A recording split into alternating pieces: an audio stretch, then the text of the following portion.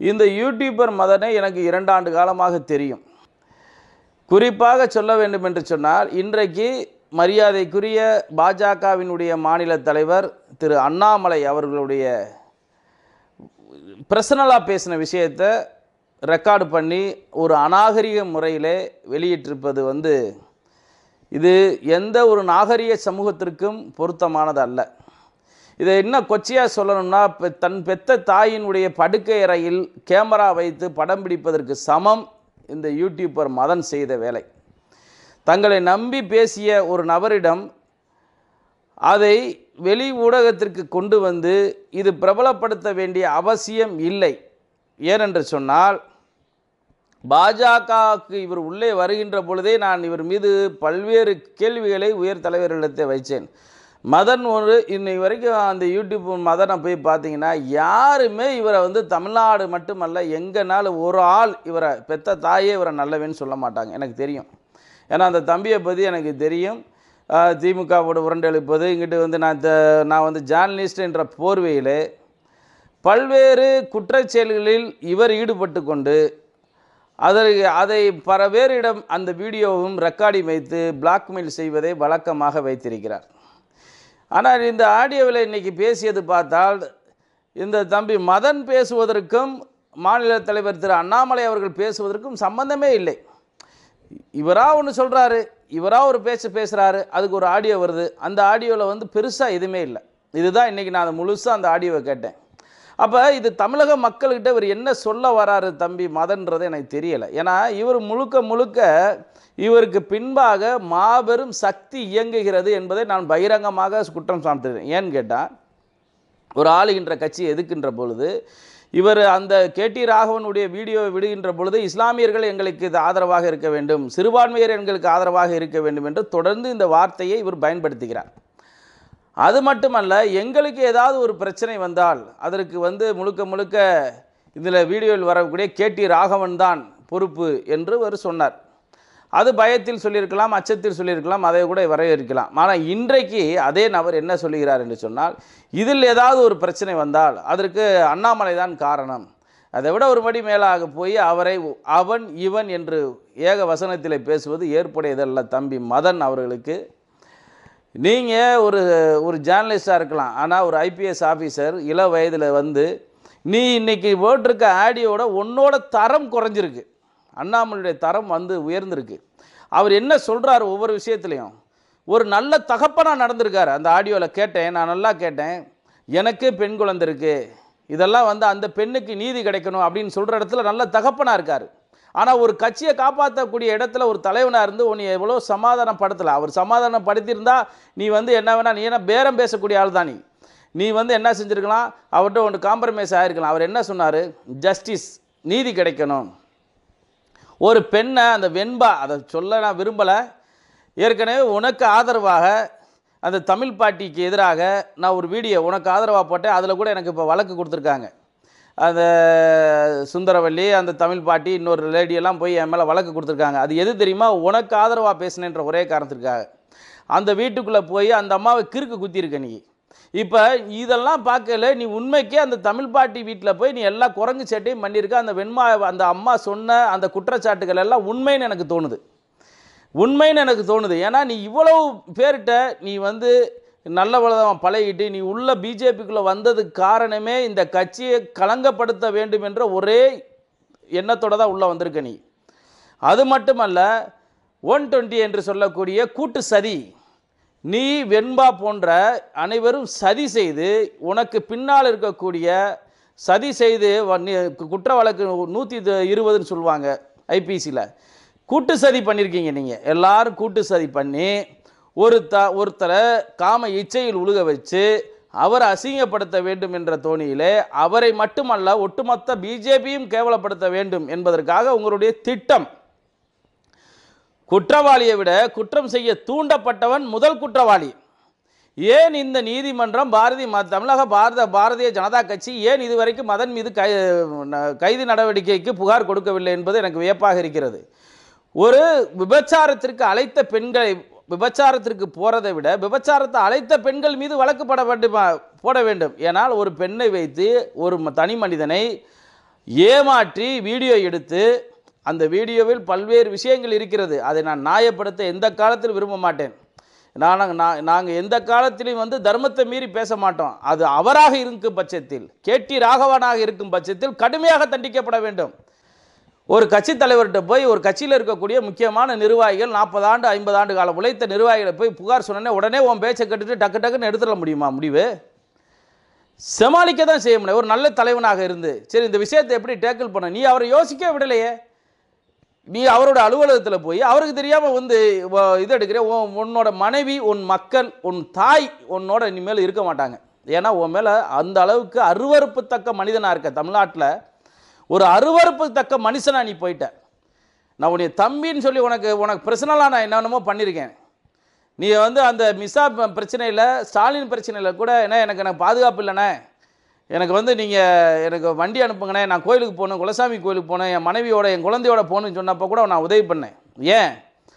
நீ ஒன்று அந்த அளவுக்கு நீ ஒரு நேர்மையானவன் நினச்சி. ஆனால் ஊரே சொன்னாங்க சுப்பிரமணியன் சொல்லி ஒரு பா ஒரு ஆர்எஸ்எஸ் வலதுசாரி சிந்தனையாளர் கூட உன் மேலே அவ்வளவு குற்றச்சாட்டு பண்ணார். அப்போ கூட நான் அவர் தான் பழித்து பேசினேன். ஆனால் நீ இவ்வளோ ஒரு கீழ்த்தரமான ஒரு வேலையை செஞ்சுட்டு என்னமோ உலகத்திலே பெரிய சாதிச்சது மாதிரி சட்டையை ஏற்றி விட்டு பேசுறது வந்து எந்த விதத்தில் நியாயம்? இன்றைக்கி அந்த வெண்பான்ற ஒரு பொண்ணு பேசியிருக்கு காவேரி துணைக்காட்சியில். அவ்வளோ கேவலமா? ஜாலியாக இருக்கணும் ஒரு ஆம்பளை கூட போய் பல பல பேர்கிட்ட படுத்துக்கணுன்னுது நல்லா தண்ணி அடிக்கலான்னுது சுதந்திரமாக கெட்ட வார்த்தை பேசலான்னுது அப்படி பெண்ணுக்கு நீ வரிஞ்சு கட்டிக்கிட்டு நீ வந்து அண்ணாமலையோட ஈக்குவல் பண்ணி பேசுவியா? உனக்கு அண்ணாமலைக்கு ஈக்குவலா பாஜகன்றது உனக்கு தெரியாது. அந்த கட்சியில் இருந்தவன் நான். பாஜக ஒரு சாதாரண அடிபட்டை தொண்டன் வந்து மாநில தலைவர் வருவான். ஆனால் உன்னைய ஏன் ஒரு ஜேர்னலிஸ்ட்னு சொல்லி உன்னை கொண்டு போய் உன்னை மெம்பராக கூட ஆக்கலைன்னா உன்னோட தகுதியெல்லாம் தெரியும். நீ உள்ளே போகிறதுக்கு முன்னால் உன்னோட சர்க்கிள் எடுத்துருவாங்க அவங்க. அசிங்கமாக இல்லை எனக்கு பொறுப்பு தராததுக்கு தடையாக இருந்த ராவணனை நான் பழி வாங்கினேன். இது ரிவெஞ்ச் எடுக்கிறதா? காயத்ரி ரகுரானும் குஷ்பு வந்தால் கூட நாங்கள் வந்து எல்லாத்தையும் ஓப்பன் பண்ணி தான் வச்சு பேசுகிறோம் அப்படின்னா இதில் என்ன அர்த்தம் இருக்குது தமிழில் எத்தனை அர்த்தம் இருக்குன்னு தெரியுமா? அவங்க வந்தால் கூட நான் வந்து டிரான்ஸ்பரண்டாக தான் இருப்பேன். ஏன்னா அவங்கள உயர்வாக வச்சுருக்காரு அப்படி. அவர் உயர்வாக வைக்க போய் தான் அந்த வார்த்தையை அவர் பயன்படுத்துகிறாரு நீ வந்து நான் இந்த கதவெல்லாம் எடுத்துகிட்டே வச்சுட்டேன்னா ஒரு சாதாரண வாட்ச்மேன்லேருந்து அங்கே இருக்க வேலை பார்க்குற பீரியட்லேருந்து அடிப்படை தொண்டன் முதற்கொண்டு தலைவர் அங்கே என்ன பண்ணிகிட்டு இருக்காருன்னு பார்க்கணும். இதுதான் சிறந்த நிர்வாகத்திற்கான தகுதி. நீ அதுலேயும் திருச்சி சொல்கிற உனக்கு பதவி கிடைக்கலன்னா நீ எங்கே போய் சண்டை போட அதுக்குரிய உழைப்பு இருக்கணும். நீ போய் கட்சியில் சேர்ந்தா நீ என்ன மத்திய மந்திரியாக இருந்துட்டு போய் சேர்ந்தையா? யூடியூப் வச்சு நடத்திக்கிட்டு போய் சேர்ந்தானே உனக்கு என்ன தூக்கி கொடுத்துருவாங்களா? நியமன சேமி எம்பி கொடுத்துருவாங்களா உனக்கு? நான் என்ன சொல்கிறேன் எத்தனை வீடியோ வச்சுருக்க? எல்லாத்தையும் போடு. போடுறா எல்லாத்தையும். எந்த வீடியோவும் போடு. இந்த இதை வைரமுத்து இருக்காரு. ஊரே சேர்ந்து முட்டு கொடுத்தாங்க. இன்னைக்கு அவங்கெல்லாம் வந்து இங்கே கேள்வி பண்ணல தான் எங்களுக்கு நகைச்சுவையாக இருக்குது இவர் அண்ணாமலை முட்டு கொடுத்தாரா? ஐயோ கேட்டுடா அவனை காப்பாற்றின தயவு செய்து உங்கள் காலில் விழுந்தாரா? யாராக இருந்தாலும் நடவடிக்கை எடுன்னு சொன்னவர் ஒரு மனுஷனை சிங்கம் மாதிரி நின்றவர் நம்ம சிங்கம் அவர் தான் சிங்கம் நீ அசிங்கம். இந்த கட்சியை களங்கப்படுத்தணும்னு சொல்லி யாரோ செட்டப் பண்ணி அனுப்பின ஆள் நீ. உன்னை பகிரங்கமாக நான் சொல்கிறேன் உனக்கு பின்னால் மிஷினரி இருக்குது உனக்கு பின்னால் பயங்கரமான சக்தியில் இயங்குது. நீ நினைக்கிற மாதிரிலாம் உன்னைய பார்த்து அடுத்த ஆளுக்கு தெரியாமல் இருக்கலாம் தம்பி. உன் வீரம் என்னன்றது எனக்கு தெரியும். ஆனால் நீ இப்போ பேசுகிற பற்றியா வீரம்? அப்போ உனக்கு பின்னால் யாரோ இருக்கிறாங்கன்னு எனக்கு தெரியுது. நீ எத்தனை வீடியோ வச்சுருக்க? எத்தனை பேர் வச்சுருக்க? எல்லாத்தையும் ஒன்று ஒன்றா எதுக்கு ஒன்று ஒன்றா போடுறேன்ற? எல்லாத்தையும் போடு. பார்த்துருவோம் அதையா? அதையும் பார்ப்போம்பா தப்பு பண்ண எவனா இருந்தாலும் தூக்கி எறிஞ்சிட்டு போகிறான் பிஜேபியிலேருந்து தூக்கி எறிஞ்சிட்டு போகிறாங்க யாராலும் தூக்கி எறிஞ்சிட்டு போகிறாங்கப்பா இதில் இருந்துக்கு பூரா அந்த மா- மாக்காய் காக்காரன் இல்லை நீங்களாம் இதில் இவங்க இந்த காமெடி பீஸ் வேற. இந்த க- தீக்க திராவிட கட்சி இந்த அஹ், மாக்காயிக்கா இவங்க யோகிய சிகாமணி இவங்கலாம் ஏண்டா யோகிய சிகாமணி உங்கள் உங்கள் பஞ்ச உங்கள் இதெல்லாம் எடுத்து விட்டோம்னு வச்சுக்க. ஆண்டு கணக்கில் ஓடும் நெற்றிக்கண் கிறப்பு திறப்பினும் குற்றம் குற்றம் தான் நக்கீரர் நம் பிறந்த ஊர். யார் தப்பு பண்ணாலும் தப்பு தானப்பா நீ வந்து அவர் இவர் இருக்கலாம் இங்கே வேலை இல்லை. ஆனால் நீ பண்ணது மகா தவறு. உன் நம்பிக்கை துரோகம். நீ பண்ணது பச்சை துரோகம். உன்னை நம்பி பேசுகிறவர்கிட்ட அப்போ நீ பெத்த தாயிட்ட கேமரா வைக்க மாட்டேன்னு என்ன இருக்குது உன் கட்டின பொண்டாட்டிகிட்ட நீ கேமரா வைக்க மாட்டேன்னு என்ன தம்பி இருக்குது சொல்லுப்பா. உன்னை நம்பி நீ எவனா வீட்டுக்குள்ளே விடுவானா? நல்ல தமிழ் மக்கள் நல்லவன் உன்னை யாருமே வீட்டுக்குள்ளே விட மாட்டான். ஏன்னா நீ அந்த அளவுக்கு கேவலமாக நடந்துக்கிட்ட நீ உன்ட்ட எவனுமே உன்னை அவமானமாக நிறுத்தி தான் பேசணும் இனிமேல் உன்கிட்ட. உன்ட்ட எவனும் பேச முடியாதுப்பா இனிமேல் நீ தொடர்ந்து வீடியோ போடு. தொடர்ந்து நீ இருக்க அண்ணாமலை அவர் என்னென்ன பேசினாரோ போடு. பிஜேபியில் என்னென்ன யார் யாரெல்லாம் பேசினாங்க நீ ஆறு மாதம் அந்த வேலைக்கு தானே வந்த. அந்த வேலையை நீ முடிச்சிட்டேன்னா எல்லாத்தையும் போட்டு விட்டு போ. எதுக்கு பூச்சாண்டி காட்டுற குரங்காட்டுற நான் பேசுகிறேன் நான் பேசுகிறேன் மேலே. இவனுக்கு வேலையே தாங்க. நீ வரைக்கும் சரி நீ நல்லவன் தானே. பிஜேபியில் அந்த பொண்ணு யார்? இது வரைக்கும் சொல்லியிருக்கியா? ஒரு குற்றம் இல்லை அந்த பெண் பாதிக்கப்பட்ட பெண் யாருன்னு சொல்லி தன்னை அடையாளப்படுத்திட்டு போய் காவல் நிலையத்தில் புகார் கொடுத்துருக்கா? இல்லை இல்லை. நீ என்னமோ பெருசாக சாதிச்ச மாதிரி இப்படி நிற்கிற இப்படி நிற்கிற டான்ஸ் ஆடிக்கிற என்ன? நீ யார்? இன்றைக்கி இந்த அந்த அம்மாவோட பேச்சு வந்திருக்கு. அதான் இப்போ வைரலாக ஓடிக்கிருக்கு. அப்படி ஜாலியாக இருக்கணும். எத்தனை பேர் இருந்தாலும். இரு. அது நாங்கள் ஏதாவது கேட்டோமா உனிய ஆ? நீங்களும் அப்படி ஆள் தானே பாஜகவை பற்றி உங்களுக்கு என்ன தெரியும்? வாய் இல்லாமல் நண்டு புழு பூச்சிலாம் பேசிக்கிட்டு இருக்கீங்க. தியாகத்தாலும் ரத்தத்தாலும் வளர்ந்த கட்சி இந்த கட்சி. ஒரு சில பேர் பண்ணுற தவறுனால இந்த பாஜக அழிச்சிரும்னு நினச்சி எவனாலையும் கனவு கூட காணாதீங்க. அப்படியே இருந்தாலும் அண்ணாமலைக்கு நாங்கள் இருக்கோம் சப்போர்ட்டா அண்ணாமலைக்கு வந்து அவர் என்ன செஞ்சுருக்காரு? ஒரு நல்ல தலைவனா நல்ல தகப்பனா நல்ல பொறுப்புள்ள ஒரு ஆசிரியனா உனக்கு இருந்து அட்வைஸ் பண்ணியிருக்காரு. அந்த அந்த அம்மாவெல்லாம் நூறு தங்கச்சி போகிறாரு உனக்கெல்லாம் வெக்கமா இல்லை? நீ இவங்க ஒரு வார்த்தை தமிழக காவல்துறை நீங்கள் இதில் இப்போ பார்க்கணும். இவங்க அடிக்கடி ஒரு வார்த்தை சொல்கிறாங்க இந்த ரெண்டு பேரும். இந்த மதனும் அந்த வெண்பான்ற லேடியும் அடிக்கடி ஒரு வார்த்தை சொல்கிறாங்க என்ன சொல்கிறாங்கன்னா எங்களுக்கு ஏதாவது பிரச்சனைனா இல்லை அந்த பெண்களுக்கு ஏதாவது பிரச்சனைனா அண்ணாமலை தான் காரணம் பாஜக தான் காரணம் அப்படின்னா இவனுக்கு பின்னால் ஏதோ ஒரு சக்திகள் வருது. இவங்களே எல்லாத்தையும் வேலையை முடிச்சு விட்டு பாஜக அண்ணாமலை மேலே இவங்க வந்து புகார் கொடுக்கறதுக்கு இவங்க ரெடியாக இருக்காங்கன்னு நான் பகிரமாக குற்றம் சாட்டுறேன். திரு அண்ணாமலை அவர்களுக்கு பாரதிய ஜனதா கட்சியினுடைய மாநிலத்தில் அண்ணாமலை அவர்களுக்கு இவங்க ரெண்டு பேர் மீது நீங்கள் தனிப்பட்ட பிரச்சனை ஒரு தலைவராக இல்லாமல் உங்களை ஒருமையில் பேசியிருக்கான். உங்களை அவாண்டமாக உங்களுடைய ரகசியம். உங்களோட நீங்கள் மனம் விட்டு பேசினதை உங்களுக்கு தெரியாமல் வீடியோ பண்ணியிருக்கான் பேசியிருக்கான். இவன் மேலே நூற்றி இருபது சட்டம் ஐபிசியின் படி இவன் மேலே வழக்கு தொடர்றதுக்கு நீங்கள் நீங்கள் காவல் ஆணையாளர்கிட்ட நீங்கள் வழக்கு தொடர் தொடரணும் கண்டிப்பான முறையில். ஏன்னா இவன் பண்ணது துரோகம் நம்பிக்கை துரோகம் ஃபோர் டுவெண்ட்டி இந்த ஃபோர் டுவெண்ட்டி வழக்கில் இவனை கைது செய்யணும். இவன் இவன் ப- இவன் பண்ணது நல்லதில்லை நீ தம்பி நீ நீ பெரிய சாதிச்சிட்டேன்னு சொல்லி நெஞ்சத்துக்கு நெஞ்ச தூக்கிட்டு தெரியாத. என்ன? கேவலமான ஒரு மனுஷன் நீ. உலகத்தில் நீ ராகவனை போட்ட நாங்கள் ஏதாவது கேட்டோமா? ஆனால் நீ ஒரு ஒரு நீ நம்பி பேசின ஒரு நபரை ஒரு மாநிலத்தினுடைய தலைவரை அப்போ உனக்கு உன்னோட அஜெண்டா என்ன? உன்னோட அஜெண்டா என்ன? பாஜகவை முடிக்கணுன்ற அஜெண்டாவை உனக்கு பொறுப்பு தரல நீ ஒரு ஆள்.